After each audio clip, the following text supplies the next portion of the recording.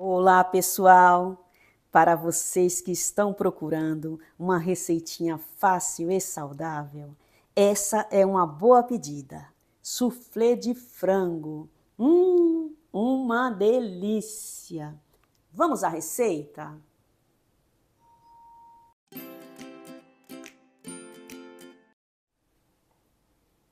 Para a nossa receitinha de soufflé de frango, vamos utilizar 400 gramas de frango já cozido e desfiado.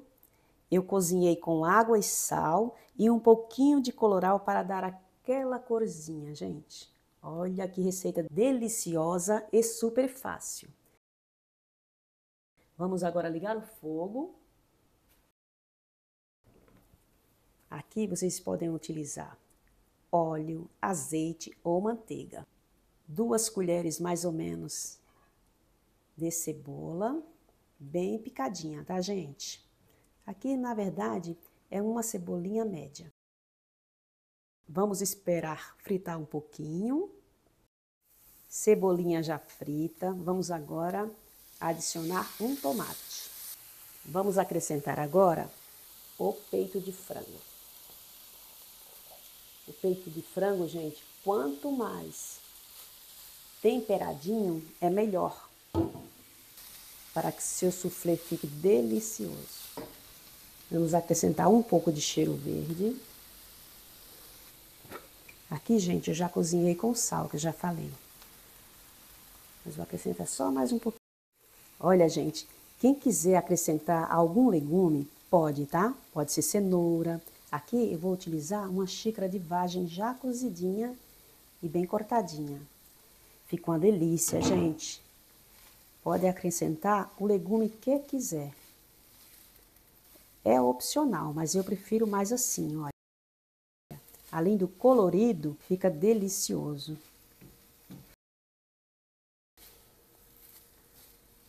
Se quiser acrescentar azeitona, pode. Tá bom? Agora aqui, vamos reservar e fazer o nosso molho branco.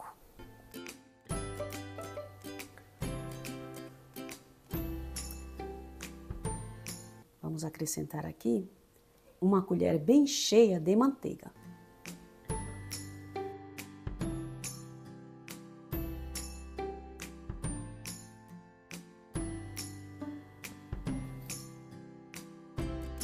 Manteiga derretida. Agora vamos acrescentar uma cebola pequena, bem picadinha, tá, gente? A cebola já murchou um pouquinho. Agora vamos acrescentar duas colheres de sopa bem cheia de farinha de trigo.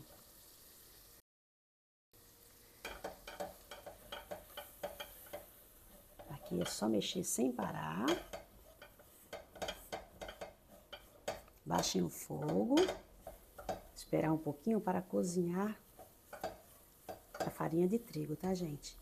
E ela pode ser substituída por maisena ou farinha de arroz, ok? E aqui temos 400 ml de leite. Vamos acrescentando aos poucos, tá, gente?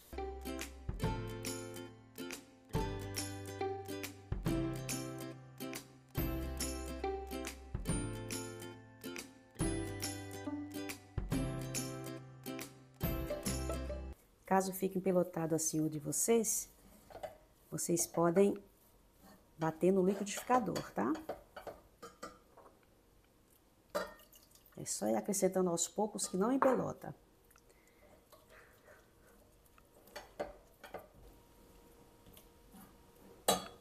Vamos acrescentar o restante.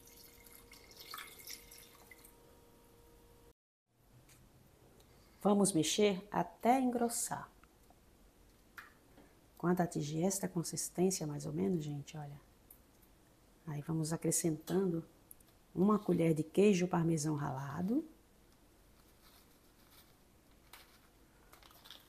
O restante vocês deixem para acrescentar na parte de cima.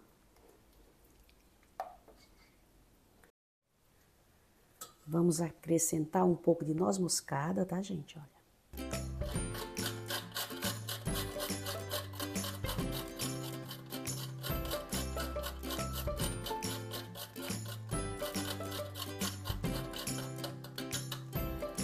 Baixar o fogo e vamos acrescentar meia caixinha de creme de leite. Hum, isso dá um sabor, gente. Aqui eu vou esperar esfriar um pouquinho e acrescentar daqui a pouco as gemas, tá? Não acrescentem as gemas com este molho branco quente, tá? Olha, que maravilha, gente. Esses pedacinhos aqui são de cebola, tá? Olha. Ficou maravilhoso o creme. Enquanto esfria, vamos bater as claras em neve.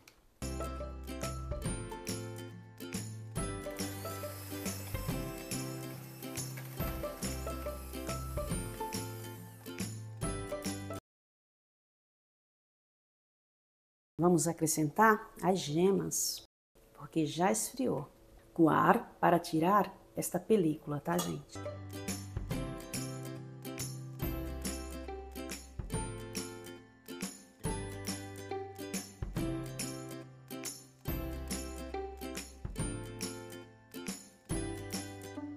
Eu não vou acrescentar mais sal, porque o queijo ralado já contém sal.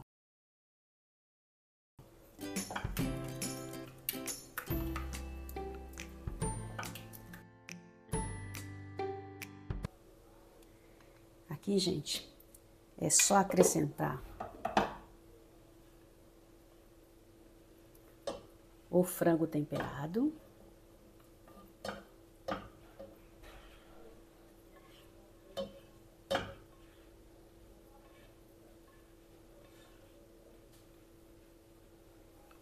Tá vendo como é super fácil? Mexer bem. Vamos agora acrescentar as claras em neve. Aqui, gente, tem que ser aos poucos, tá?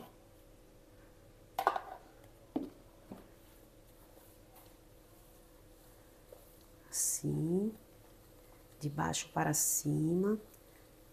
E bem devagarzinho para ficar bem airado, tá? Não precisa utilizar fermento, tá, gente? Tenho várias receitas de suflês aqui no meu canal.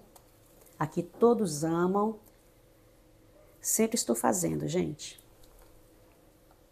Muitos eu nem gravo, sabe? Super saudável. Para quem está fazendo regime, olha, uma boa pedida, tá, gente?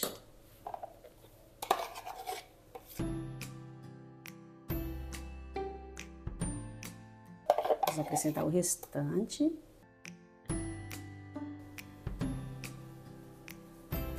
Olha, gente, dobra de volume, tá vendo? Super fácil, vocês fazem rapidinho.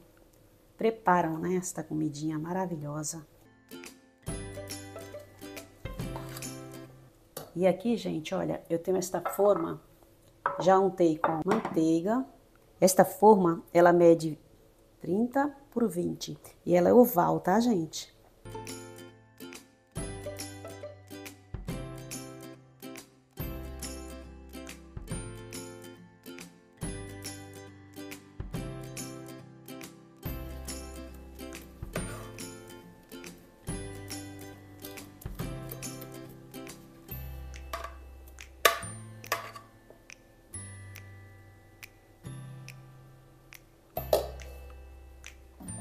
Aqui, pessoal, eu vou acrescentar um pouquinho de queijo ralado. Aqui é opcional, tá? Eu gosto. Dá também aquela crocância, né? Pega uma cor bonita. Agora vou levar ao forno 180 graus de 25 a 30 minutos. Olha, gente, ficou bem douradinho. Agora vamos tirar um pedacinho desta delícia. Hum.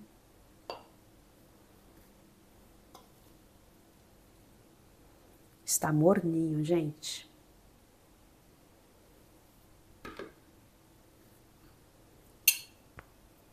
Ficou firme, como deveria ficar. Esta é a nossa receitinha de hoje. Espero que vocês tenham gostado. Se gostaram, curtam, comentem, compartilhem para esta receita chegar a mais pessoas. Um forte abraço a todos, Deus abençoe e agora eu vou experimentar. Gente, que delícia! Façam, viu? Que esta ficou perfeita e deliciosa.